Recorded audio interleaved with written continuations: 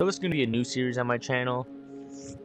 Um, so they're they're releasing actual hardcore mode on Bedrock Edition this year apparently sometime. So I am excited as hell for that because like hardcore is one of the things I've always wanted to do.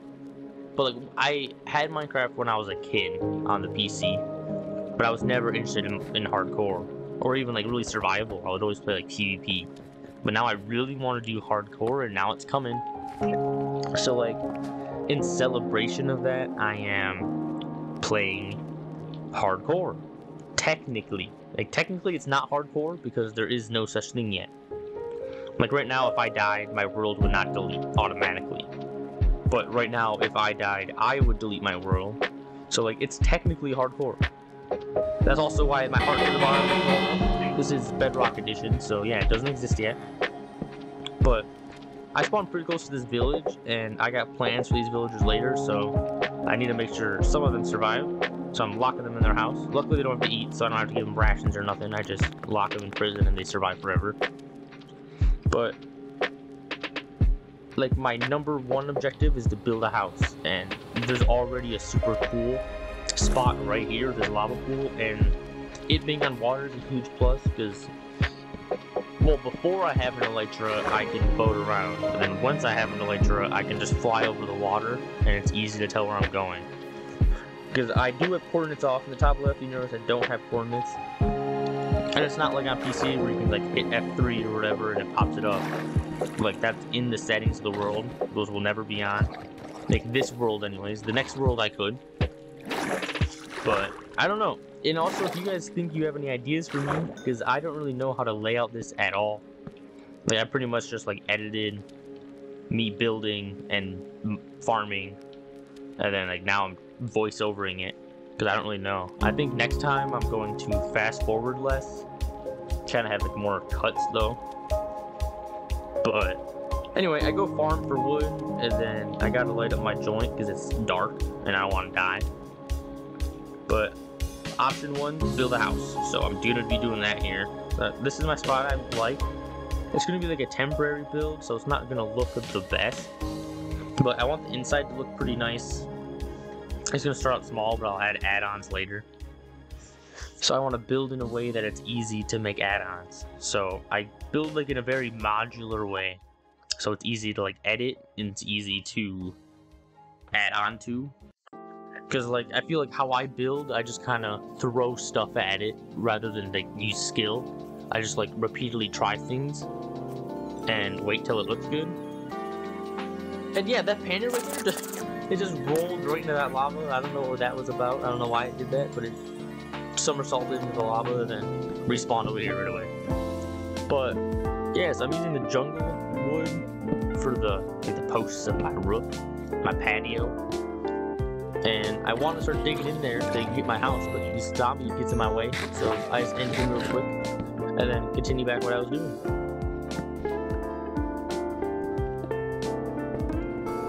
So, yeah, so this is gonna be like my entrance hallway. I need some place to like, like store loot. My inventory is very full, so I need at least one chest. So that's where I'll put in that entrance room, which you see it's already there now. And I just put a little flat roof on so I can change it easily. I can get rid of that very easily. But even if I didn't want to do it manually, I could start that on fire if I want to and it'll all go away.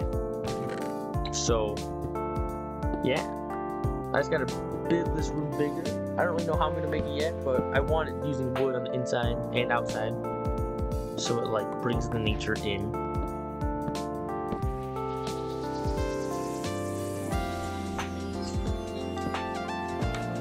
But yeah, I think like the house looks pretty bland right now, but I like the way it like the layout. I like it for how fast it was to build. And it's gonna be pretty easy to decorate the inside. I accidentally stripped that one log, but actually I didn't really know that, but the jungle log stripped is like almost the same color as like oak planks. So I actually like the way that looks a lot. But in this room, this is gonna be like my hub room, so this will be the center of my base, or my house, not my base. But so what I want it to be, like I want to have like a door on each of the four walls, and each of those four doors goes to a different room. So that obviously that one door is the entrance, and two chests. One will be like a brewing room, enchantment room. uh, nether portal room. You know, it'll be stuff like that. But yeah, I pretty much like the way it looks out. So I get off for the day because it's really late. And I downloaded uh, a texture pack called Classic Shaders. It costs real money. It was like 10 bucks or less than 10 bucks. So not that much, but it's weird that they charge for it. But I love the way it looks. Like this looks good. So I definitely don't regret getting it.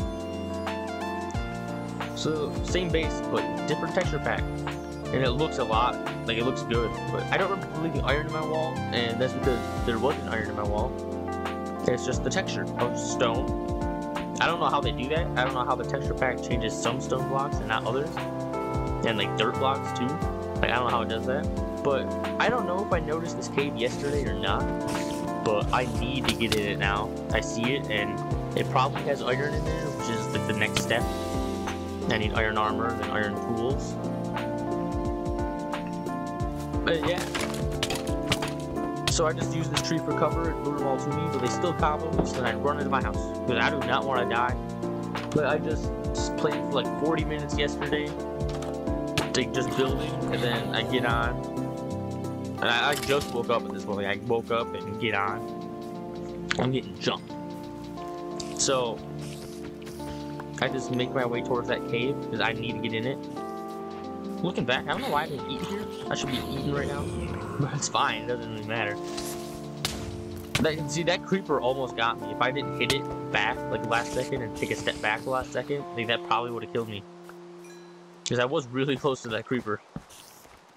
So I jumped down here with four hearts and no food for some reason. And I get jumped and I die. So I hope you guys enjoyed this video. Uh, Echopho out.